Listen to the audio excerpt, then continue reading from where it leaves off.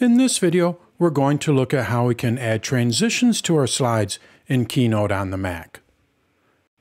Let's go to my Mac. So I'm working in my slideshow here, and if we look at my slides in the left side here, you're going to see that I have a little blue triangle located in the lower right hand corner of a few of these slides.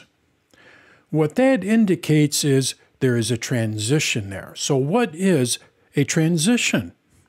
Well, basically, when you go from one slide to another, it's how you want to have that transition happen. If you do not have a transition, what it will do is it'll just go straight from one slide to another. But what you can do is add a slight transition. You can add a dissolve, you can add a clothesline. You have a number of different transitions that you can choose from in Keynote. As an example, let's take a look at a few of these and then I'll show you how this all works. I'm going to go to my first slide here. We do have a transition there. You can see the blue triangle in the lower right hand corner of the slide. So now all I do is just click on the play button and when I do, it'll play that slide. So now what I need to do is just tap the space bar and it'll go to the next slide via a transition. So let's go ahead and tap on the spacebar on my Mac, and we can see it flipped around. That is a transition. When I tap on the spacebar again, or I could use the right arrow, I tap on the spacebar again, that one dropped in. So that's what a transition is. Now how do I set this up? Well, let's go over to my first slide here. Now that I have it selected, what we do is we go over to animate. Under animate, as long as we have the slide selected, what we're able to do is pick our transition. Now we do have to have the slide selected. If I go and select an object here, let's go ahead and select this text. You're going to see that it changes to builds. What we want to do is focus on the transition. So now what I do is I go back over to the slide here and I select it. So then none of my objects are selected. Now what I'm able to do is go and select my transition. Basically, this is divided into two areas, this panel here. I can set what the transition is, this is a flip, and then depending on which transition I have, I can set the different options for it. Let's go and remove a transition. So I'm going to click on this, and to remove a transition, all I do is just click on Change, and then I say None.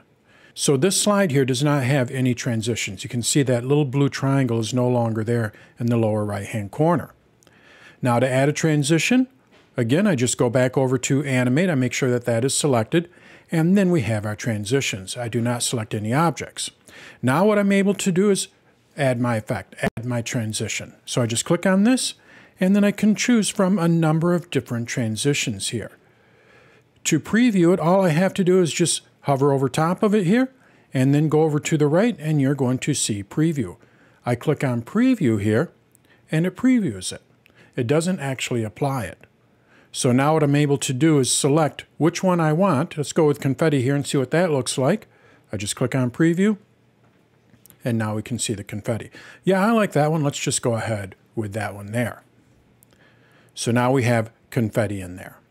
I can still preview it by clicking on Preview. But now that I have it selected, what I'm also able to do is select different options. What is the duration? What is the direction of the confetti? And these options will change depending on which transition you use. I can also set, with this particular transition, I can set if there's gravity. This is for the confetti.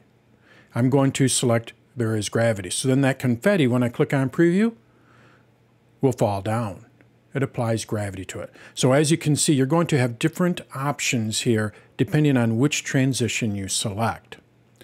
Now, how fast do you want it to go? Well, that's where the duration comes in. Right now it is set for one and a half seconds, but if I go and change this to, we'll just go to three and a half. We're going to make this extreme. Now when I click on preview here, what it's going to do is take three seconds. You can see it's much slower. And then I can also set when the transition is going to start. This is on click. So when I press that spacebar, what it's going to do is start that transition. It's going to do it on click. But I can also set it to automatically. This would be great for self-running presentations. I just select this, and then I set how long the delay is. So do I want it to delay 5 seconds? Do I want it to delay 15 seconds? Or maybe I just want to have it delay a half a second. In most cases, what you will do is set it to on click. When you set it to on click, you cannot set the delay because it's based on when you click it. This is more of a traditional presentation. You do it on click.